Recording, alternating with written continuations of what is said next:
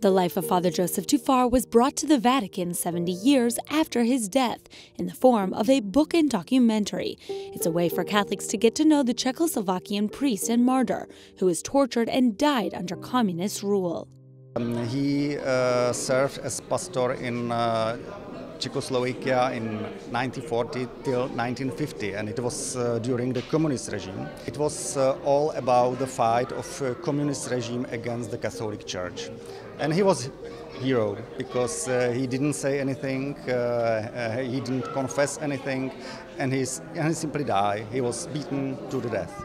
Je to příběh It's a very elementary story in the sense that totalitarian communist power arrested an ordinary rural priest, tortured him, put on a mask of a criminal, murdered him, and then buried him like a dog on the outskirts of Prague. This torture was spurred by a miracle in his parish of a cross moving on the altar. It drew communist attention and they accused Father Joseph of making it all up. Despite the torture, the priest never spoke and was killed as a result. He was buried in a secret tomb so pilgrims couldn't find him. Film je vlastně svým způsobem The film is a narrative about the story of Joseph Toufar.